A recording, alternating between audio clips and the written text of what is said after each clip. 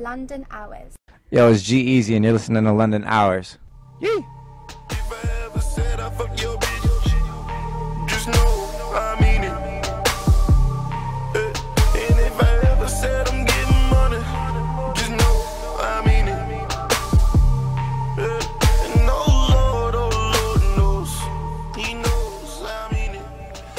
What's going on? It's your boy, Mr. Bounce DJ. We're here with G-Eazy right now, man. What's what's good, my brother? Out here in London, man, I'm loving it. Yo, I just got here. I haven't been here 24 hours, and I'm already in love with this place, man. I'm ready to move. That's good, man. Thanks very much for coming down all the way to London and joining us here in this lovely, lovely area. Um, first of all, what brings you actually to London in the first place, man?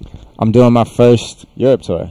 Doing your first Europe tour, Yeah, yeah? so we've we've been everywhere and back in the states. I swear, we've been around a million times, but now it's time to come over here Mm. and pay dues and start over. Mm. You know what I mean? Now it's time to to plant seeds and and and you know what I mean, and and water it and watch it grow over here. It's Of like course, of course. you start from scratch. And it's really just about getting in front of people. You know, there's a little bit of a following here, but then how do you turn that into something bigger? Yeah. So we're starting over at an eighth. Oh, out here, okay. you know what I mean? We we took a we took an eighth to an ounce to a kilo in the states. I'm trying to make a move out here. You feel me?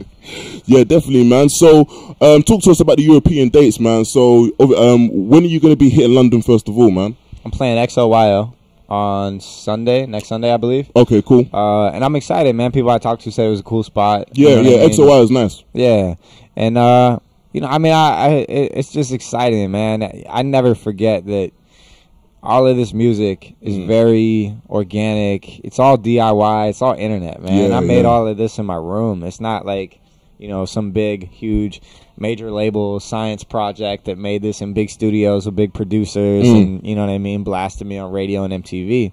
This is all the age of the internet, Yeah, man. and and homemade music. And just to think something I made has traveled this far, this many miles, and I can come out to London, and it doesn't matter if it's XOYO Yeah. or the O2. You know what I mean? It's like it's people over here that that give a fuck about what I'm doing and are coming to the shows, and and, and that's love, man. But that was actually going to be my next question, man. Obviously, the albums come, are going to be coming out in the UK in July. Um, but we wanted to know exactly where where did you get your start from in the game, and you know how did you get started in this? and I grew up in the Bay, you know. And when I was when I was starting to make music, this would have been like 04, something like that, 2004, and the hyphy movement was popping. You know, it was beginning to, it was beginning to bubble. Okay, and you know, in my eyes, E-40 was Jay Z, and Too Short, and Mac Dre, and you know the local scene in the Yeah. Bay, and you know that's what that's what we all sounded like when we were making music. We all were little young hyphy rappers. Mm. You feel me? And you know. The beats had to slap, and you know we were talking about you know just parties and just you know just Bay Area culture, and uh, you know, and then I I moved to New Orleans after I graduated high school. okay, Uh, I went down there and lived for six years and just soaked that up, and I studied music business out there, uh, like marketing, entrepreneurialism, and stuff like that. Mhm. And and really, you know, I always knew that it's it's one thing to make a song, but that doesn't mean anything unless you can get people to hear it. yeah, You know, so how do you get your music in front of people? And and, and that all comes to, you know, the marketing and the branding and the positioning and the strategy and all that. And I knew ever since I was a kid, starting to rap. You Mm. know what I mean? Just like bored in the back of the classroom writing raps instead of taking notes or you know making beats early on.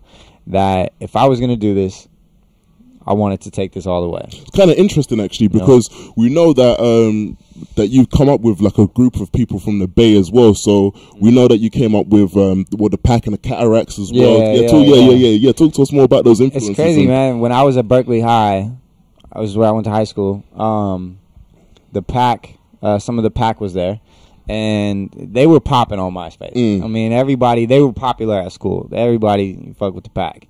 And when that Van song came, Yeah, big tune. man, it, it was crazy for us. It's crazy to, to me still that y'all know about the pack out here. yeah, you know? yeah, you know, Lil B and all that. yeah, yeah. Well, I guess yeah. Based God has transcended all that, and you know he's the Dalai Lama. He's Yeah, he's yeah, the yeah. world. He's out there. But the pack at the time, man, it, it was crazy because Lil Uno, who I'd known since middle school, like he he went from you know what I mean, sitting next to me in class to Mm. being on MTV with with the Vans video, and I was like, at the time, that showed me it was possible. Yeah. You know, you could go from you know, some homemade music that they made at L's house, you know, uploaded to MySpace, and you could take that to the world. And I think just seeing that and knowing it was possible really inspired me, and uh, you know, just made me. Feel, and at the same time, the Cataracs were going to going Yeah. really high, so it was like I was like the little homie that was, you know what I mean? Like I was younger than them. I was a year or two younger, Mm. and um, but I wanted it. This is bad, you know what I mean? And I always knew, however long it would take, I would get there. And that's been it, man. All right. Well, so we know now that um, now that you're breaking through, let's say that you're like the new generation of Bay artists that are coming through, Bay Area artists that come through, like IAmSu, Yeah. Sage the Gemini. I mean, what? Shouts Do, out to HBK. yeah, definitely, man. What do you make of the recent breakthrough of uh, Bay artists um, like those two guys I've just mentioned? and I love man? it, man. I love it. Yo, this is the first time the national or the world spotlight has been Mm. back on the Bay, kind of since the mid 2000s, almost since I left. Like you know, since Tell Me When to Go and Yeah. Super Hyphy and you know all that. So it's just, bro, it's, it's, it's dope, man. It's like. Our area is, is, is relevant as hell. You Mm. know what I mean? We're on fire right now. And to be honest, your um your area as well is going to be highlighted at Wireless Saturday because obviously Yeah. those guys are going to be Sage, performing, yep. including yourself as well, man. So nah, it's it's just again, man. It's like it, with, when it comes to the Bay. Sometimes music can stay in the Bay because Mm. we're so proud of where we're from and we support our own. And that, you know, like I'm telling you, when I grew up, I would turn on, you know, KMEL and E-40 or Mac Dre would get just as much airplay as as a Jay Z Yeah. or 50 Cent or whatever. Like that, it's always, you know what I mean. Our local culture is, Mm. has always been, you know, essential. And um, so just to see something that is so many miles away from London, you know, to see people at Wireless, like like to, to be, you know, to have like Sage and myself, you know, on a, on a bill at Wireless, so many miles away is. It's crazy. You know- you know what I mean? That's, that's that's wild. Like, and that's just all the more inspiring. You know that we could take this to the universe.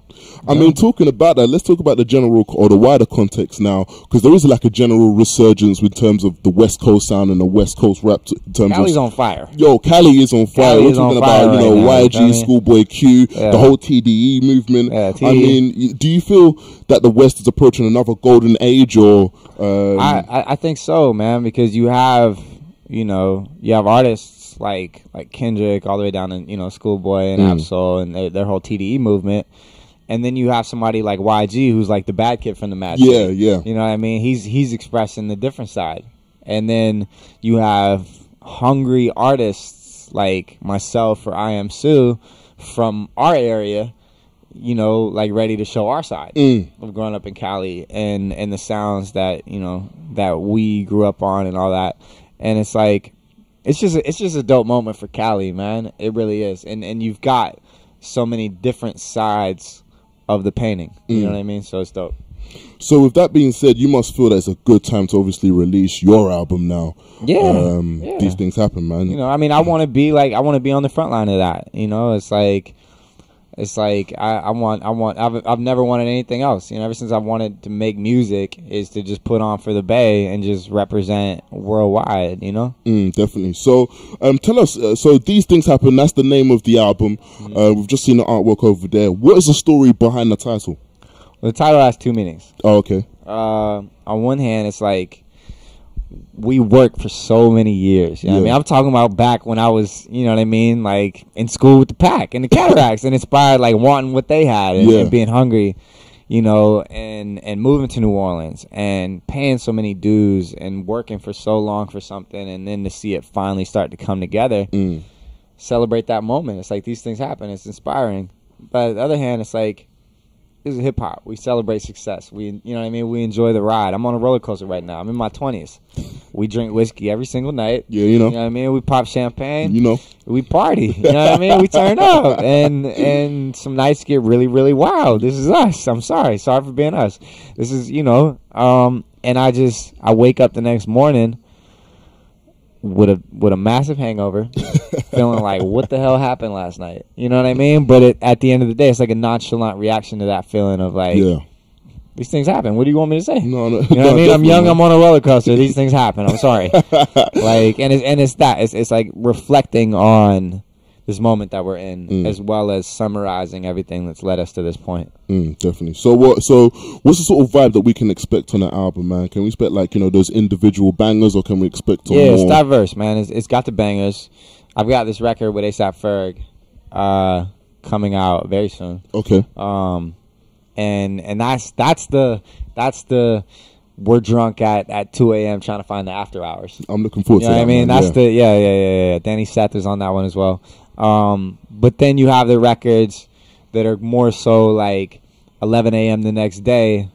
You know, the more introspective. Mm. You know, self-reflecting, like what the hell's going on right now, trying to keep a balance. You know what I mean? Just a look inside of, you know, of me as a person in a more reflective sense.